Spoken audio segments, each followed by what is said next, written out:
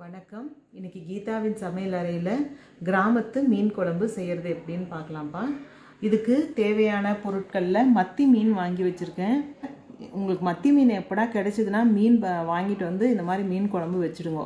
மீன் குழம்புல வந்து ரொம்ப டேஸ்ட் கொடுக்குற மீனுங்க. மத்தி மீன் சங்கரா மீன் ரொம்ப நல்லாயிருக்கும் டேஸ்ட்டு இது வந்து மஞ்சத்தூள் கல் உப்பு போட்டு நல்லா சுத்தமாக கழுவிடணும்ப்பா. அப்போ தான் வந்து அந்த கவிச்சி ஸ்மெல்லாம் அடிக்காது.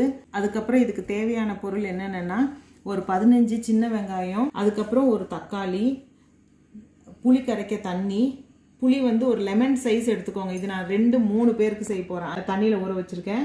இது வந்து நல்லெண்ணெய் ஜிஞ்சிரி ஆயிலு அதுக்கப்புறம் மஞ்சத்தூள் இது வந்து வெறும் மிளகாத்தூள் அப்புறம் சீரகத்தூள் வெந்தயம் அப்புறம் இது வந்து குழம்பு மிளகாத்தூள் கருவேப்பிலை ரெண்டு கொத்து அதுக்கப்புறம் மூணு பச்சை மிளகாய் பதினஞ்சு பூண்டு இஞ்சி ஒரு துண்டு பெருங்காயம் சோம்பு.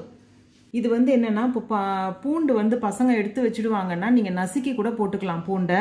இப்போது இது எப்படி செய்கிறதுன்னு பார்க்கலாமா? புளியை ஃபஸ்ட்டு இது நல்லா திக்காக இருக்கிறத கரைச்சி ஊற்றிட்டேன் நான். இப்போ அடுத்தது வந்து ரெண்டாவது வாட்டி தண்ணி ஊற்றி அந்த இதை கரை கரைச்சி எடுக்க போகிறேன் இப்படி பிடிச்சி எடுத்துக்கோங்க. அதுக்கப்புறம் தேவைக்கேற்ற தண்ணி அதுக்கப்புறம் ஊற்றிக்கலாம் இப்போது இதில் வந்து நம்ம தக்காளி பழம் போடுறோம். பாருங்கள் உப்பு போட்டு நல்லா பிசைஞ்சிக்கணும் இப்படி. இதுதான் இந்த மீன் குழம்புல டேஸ்ட்டு ரொம்ப டேஸ்ட்டாக இருக்கும். நல்லா பிசைஞ்சிக்கோங்க தக்காளியை. உங்களால் முடிஞ்ச அளவுக்கு பிசைஞ்சிருங்க. நான் த நாட்டு தக்காளி தான் எடுத்தேன். அதனால் உங்களுக்கு எனக்கு ஈஸியாக இருக்குது பிளிய பாரமாக இருந்தால் நீங்கள் வந்து மிக்சியில் இல்லை கொஞ்சம் ந சின்ன சின்ன பொடி பொடியாக நறுக்கிட்டு அப்புறமா இந்த மாதிரி பிசைஞ்சு விடுங்க. அப்புறம் மஞ்சத்தூள் அரை டீஸ்பூன். மிளகாத்தூள் அரை டீஸ்பூன். உங்கள் காரத்துக்கு ஏற்பப்பா நாங்கள் கொஞ்சம் காரமாக தான் மீன் குழம்பு சாப்பிடுவோம். அதுவும் இல்லாமல் நல்லெண்ணெய் ஊற்றுறனால கொஞ்சம் காரமாக இருந்தால் நல்லாயிருக்கும் அப்புறம் குழம்பு மிளகாத்தூள். அது வந்து ரெண்டு டீஸ்பூன்.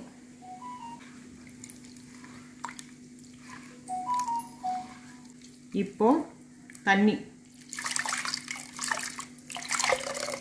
இந்த ஒரு சொம்பு தண்ணி ஊற்றிட்டேன் இப்போ வந்து பச்சை மிளகாவை இப்படி கிள்ளி போட்டுக்கணும். மூணு எடுத்திருக்கேன். அந்த மூணையும் இப்படி போட்டுறேன். இப்போ மண் சட்டி வச்சு அதில் வந்து நல்லெண்ணெய் ஊற்றிருக்கோம் ரெண்டு டேபிள் ஸ்பூனு. கடுகு தாளிக்கப்பா இது. கொஞ்சம் கடுகு. கொஞ்சம் உளுத்தம்பருப்பு. இது கடுகு கொஞ்சம் பொரிஞ்சோன்னே சோம்பும் பெருங்காயமும் வெந்தயமும் போடணும். வெந்தயம் போடுறேன்ப்பா. கடுகு பொரியுது அதனால் வெந்தயம் போட்டேன். அது கூடவே சோம்பு. அப்புறம் இப்போ பாருங்க பெருங்காயம் போட்டேன்.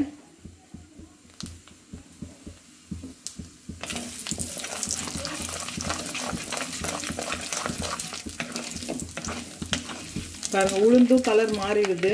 உளுந்து கலர் மாறினோன்னே இப்போ நீங்கள் பூண்டு வெங்காயம் சீரகத்தூள் இதெல்லாம் போடலாம். இப்போ சீரகத்தூள். அப்புறம் இஞ்சி பூண்டு. நான் தட்டி வச்சுருக்கேன். இஞ்சி பூண்டை தட்டிட்டேன். நீங்களும் அதே மாதிரி இஞ்சி பூண்டை தட்டியே போட்டுடுங்க. அப்போ தான் பசங்க எடுத்து கீழே வெளியே போட மாட்டாங்க. அப்புறம் கருவேப்பிலை. இப்போ கொஞ்சம் போட்டுக்கலாம். அப்புறம் மேலே கொஞ்சம் அந்த பா குழம்பு கொதிக்குது பாருங்கள் அப்போ கொஞ்சம் ஒரு ஒரு ஸ்ட்ரிங் பாப்பு போட்டுக்கலாம். இப்போ சின்ன வெங்காயம் போட்டோம்ப்பா. அப்புறம் அப்படியே கொஞ்சம் உப்பு போட்டுருங்க. நம்ம குழம்புல உப்பு போட்டிருக்கோம். கரைக்கும் போது. அதனால கொஞ்சமாக இது இப்போ இந்த வெங்காயம் இதை வதங்கிறதுக்காக கொஞ்சமாக உப்பு போட்டிருக்கேன். இப்போ வெங்காயம் வதங்கிடுச்சுப்பா. இதை நம்ம எடுத்து அந்த குழம்பு கூட்டி வச்சுருக்கோம் பாருங்கள் புளி தண்ணியெல்லாம் மிளகாத்தூள் எல்லாம் போட்டு அதில் எடுத்து கொட்டிக்கலாம்.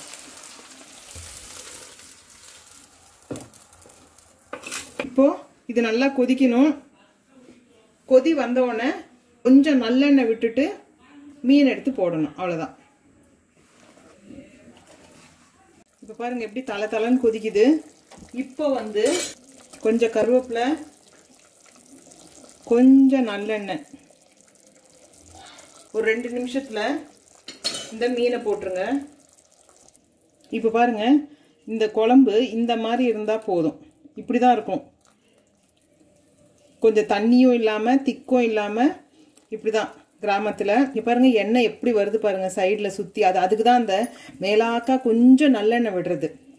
அதே மாதிரி கிராமத்தில் வந்து போடுவாங்கப்பா மாங்காய் அது நான் உங்களுக்கு சொல்ல மறந்துட்டேன். இங்கே எனக்கு மாங்காய் கிடைக்கல. அதனால் நான் போடலை.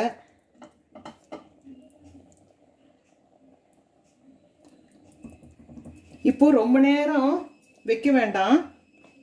ஒரு டூ மினிட்ஸில் ஏன்னா கற்சட்டியில் என்னென்னா நீங்கள் இதை நி நிறுத்தினீங்கன்னா கூட இப்போ வந்து ஸ்லிம்மில் இருந்தது நிறுத்தினா கூட பாருங்களேன் அந்த பபுள்ஸ் வந்து அடங்காது. அந்த சூடு டூ மினிட்ஸ் அடுப்பில் இருந்தால் போதும் இந்த மீன் மீன். இப்போ பாருங்க